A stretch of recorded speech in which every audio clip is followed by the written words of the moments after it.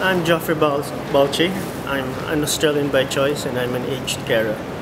And um, I, I'm a convener for the Developing Debt Country uh, think tank of Macquarie University.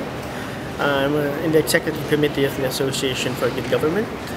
I got neither of their permissions to be here and I operate here. I'm here on my personal volition. I was involved in two people power movements 1986 in the Philippines and again 2001 in the Philippines.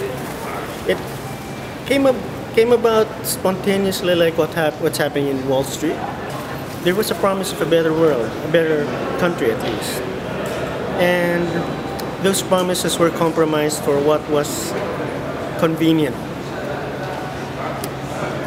Change was exchanged for what was stable and secure.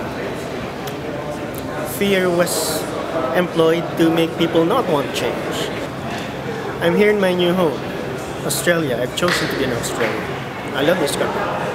And I don't want to experience the same heartbreak. I hope to see you occupy the democratic space of your country